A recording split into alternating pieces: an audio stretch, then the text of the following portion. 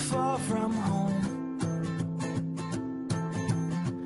I know you'll never be alone.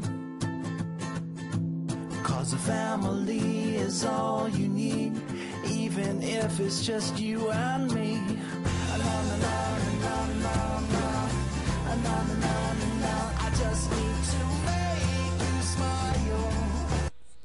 Hey guys, this time I just want to share with you a simple trick you could do with your text and this is with the use of GIMP.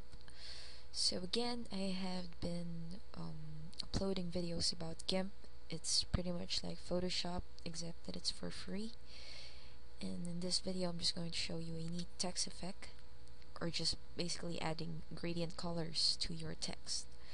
So let's say you have your text, just type in whatever you want. In my case it's Geeky Artist then we go to layer then transparency and then um, select alpha to selection and you will see the dotted lines along your text.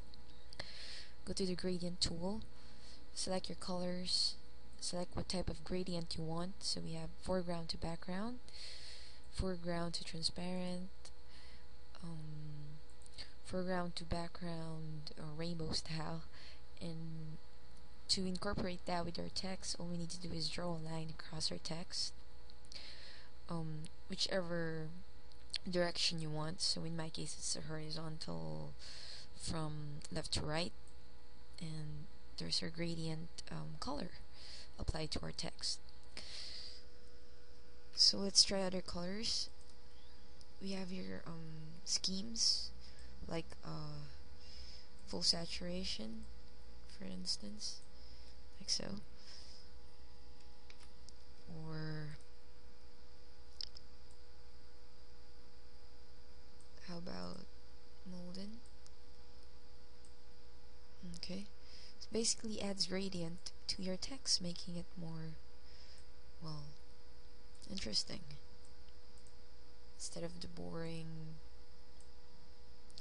um, plain color you can actually add gradient this is neat. Text effect.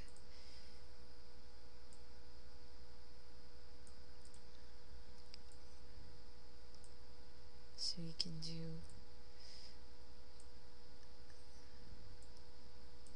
so it really depends on you on what direction where to start where to end and uh, just be creative so there you go. It's just a simple trick or a simple effect you can do with GIMP and uh, more videos to come. So to all my subscribers, appreciate the sub guys. If you have any question at all about my videos or things related, just message me here on YouTube. I'll get to them as soon as I can. For all your requests, I'm doing them soon. And this is just a quick video for you guys, another GIMP video. So check out my YouTube partners on my channel. Again, more videos to come, as always. Just have fun. See ya.